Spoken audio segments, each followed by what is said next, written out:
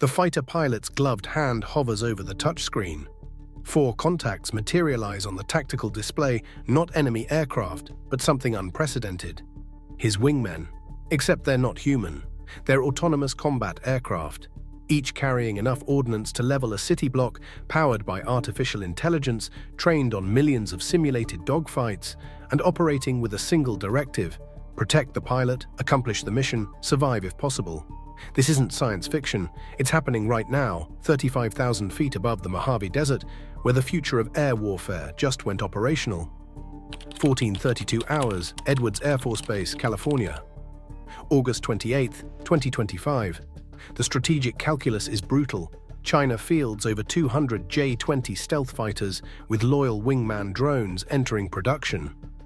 Russia's Okhotnik unmanned combat aircraft flies alongside Su-57S.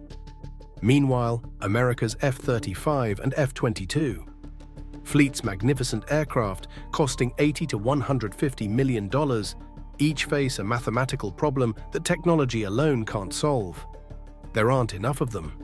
When adversaries can field numerical superiority through cheaper platforms, even the world's most advanced fighters face overwhelming odds.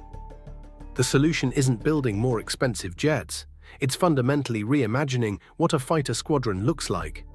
Enter the Collaborative Combat Aircraft Initiative, a $30 billion program to deploy 1,000 autonomous combat drones by the early 2030s. These aren't reconnaissance platforms or training aids.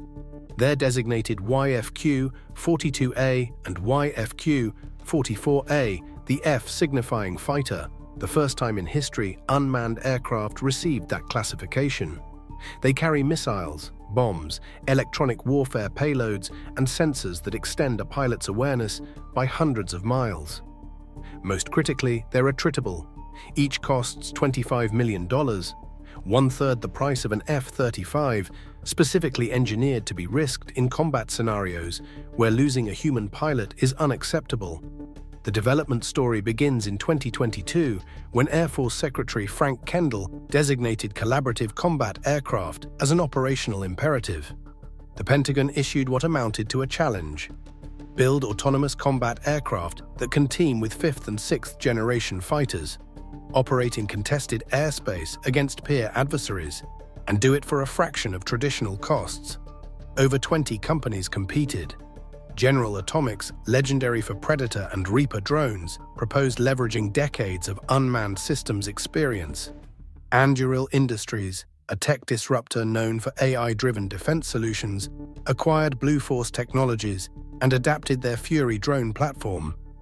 Boeing offered the MQ-28 Ghost Bat, already flying in Australia. Lockheed Martin and Northrop Grumman submitted classified designs drawing on stealth and autonomy research. By April 20, 24, the Air Force selected two winners, General Atomics and Anduril, awarding contracts to build flying prototypes designated Increment 1. General Atomics based their YFQ-42A on the XQ-67 off-board sensing station, emphasizing endurance and modularity. The aircraft features a jet-powered design with internal weapons bay, low observable shaping, and ruggedized landing gear for austere field operations. Ground testing began May 20, 25. First flight followed in August, less than 18 months from contract award to wheels up, a timeline that would make traditional acquisition programs weep with envy. Anduril's YFQ 44A represents the newcomer's approach, sleeker, faster, driven by Lattice AI software that turns autonomous flight from programmed responses into adaptive decision-making. Their prototype entered ground tests mid-2025, with flight testing anticipated by year's end. Both contractors are building not just aircraft, but entire ecosystems, mission software, maintenance procedures, training programs, everything needed to integrate autonomous wingmen into operational squadrons. Picture the scenario. South China Sea, 2032. Four F-47 NGAD, sixth-generation fighters launch from Andersen Air Force Base, Guam. Each commands three collaborative combat aircraft, 12 autonomous drones spreading across 900 nautical miles of contested airspace. The mission suppress integrated air defenses protecting a disputed island where Chinese J-20 stealth fighters patrol above S-400. Missile batteries that can engage targets at 125 miles. At 600 miles out, the NGADs release their CCAs. The autonomous aircraft accelerate ahead, using onboard AI to coordinate without radio communication that might reveal their position. Infrared sensors sweep for threats. One CCA detects radar emissions and SA-21. Growler system inactive tracking mode. The drone doesn't request permission from its controlling pilot. Algorithms trained on thousands of threat scenarios recognize the signature, calculate probability of detection, and execute. An AGM-88 anti-radiation missile leaves the rail at Mach 3. Eight seconds later, the radar goes dark. Chinese J-20 fighters vector toward the disturbance, their pilots confident in numerical superiority. They're tracking what appears to be four contacts, unaware that 12 additional aircraft are operating 200 miles behind the initial wave. Radar cross-sections barely larger than birds. The F-47S, invisible to everything except the most sophisticated early warning radars, have already locked weapons. AIM-120D, AMRAAM, missiles streak from internal bays at beyond visual range. The Chinese pilots never see their attackers. Their mechanically scanned radars are still sweeping empty sky when kinetic death arrives at four times the speed of sound. Simultaneously, CCAs, equipped for electronic warfare, flood Chinese data links with jamming signals. Surface-to-air missile batteries receive conflicting targeting data. Autonomous drones, mimicking fighter radar signatures, present dozens of false contacts, saturating the integrated air defense network with targets that don't exist.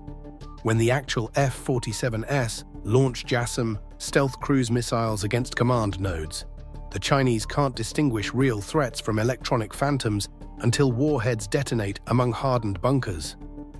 The climax comes when Chinese reinforcements a dozen J-35 carrier-based fighters scramble from a strike group 300 miles east.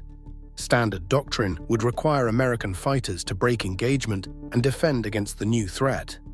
Instead, the NGAD mission commander reassigns half his CCAs with a gesture on his cockpit display. Six autonomous aircraft peel away at supersonic speed, forming a defensive screen that intercepts the J-35S before they reach weapons range. The drone's AI coordinates intercepts with millisecond precision, launching missiles in coordinated salvos that overwhelm individual targets. Three J-35S are destroyed before their pilots comprehend they're fighting unmanned opponents.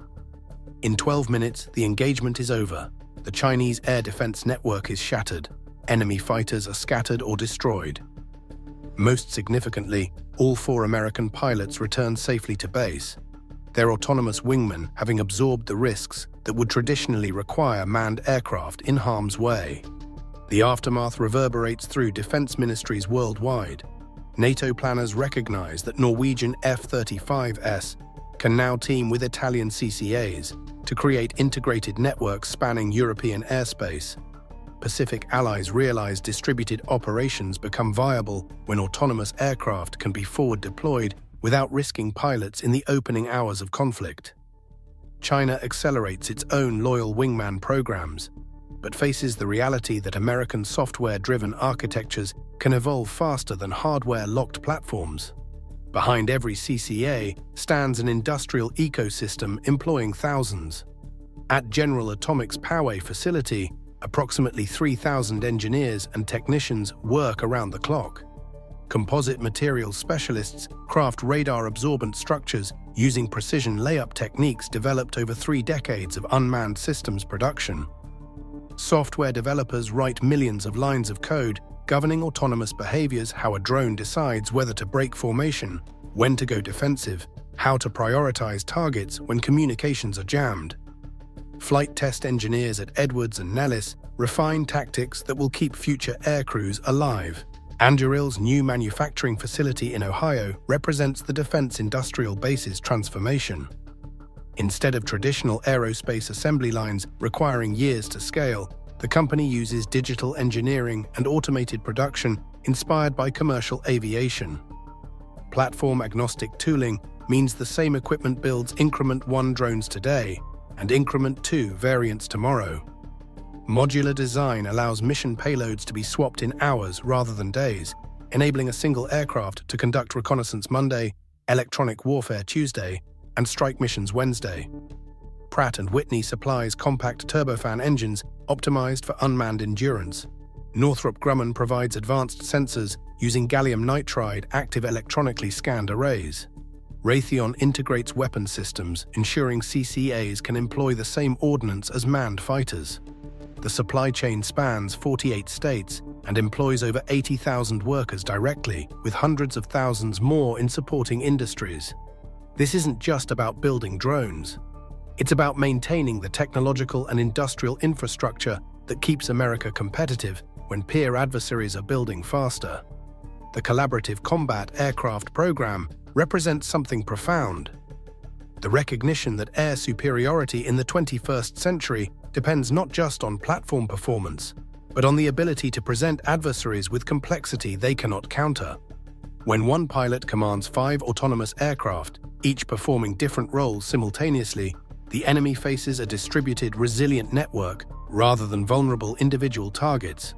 Shooting down one CCA doesn't stop the mission, it merely removes one node from a system designed to function despite attrition. Perhaps most critically, CCAs address the political and moral dimensions of warfare. Democracies hesitate to commit forces when casualties seem inevitable. Authoritarian regimes exploit this reluctance, believing Western nations lack resolve for sustained conflict. Autonomous combat aircraft change that equation. America can project devastating air power while minimizing risk to pilots, demonstrating both capability and willingness to use force when core interests are threatened. The deterrent effect is profound. Adversaries can no longer calculate that the United States will flinch from contested airspace because losing pilots is politically unacceptable. The Ghost Squadron is rising. By 2029, the Air Force projects over 100 CCAs operational. By the mid-2030s, that number could reach 1,000 or more, a force multiplier that transforms how America fights and deters wars. The question isn't whether autonomous combat aircraft represent the future. That debate ended the moment YFQ 42A lifted off in August 2025. The question is whether America maintains the lead in a domain where software, artificial intelligence, and industrial agility matter as much as stealth and speed. So here's what I want to know. If you were advising the Pentagon on the next phase, would you prioritize quantity building as many affordable CCAs as possible or capability, developing smaller numbers of more advanced autonomous fighters, where does the strategic advantage actually lie when adversaries are racing to match our technology? This is DIB Dispatch, where billion-dollar projects meet battlefield reality. And the future of American air power takes shape in the hands of engineers and operators most people will never see.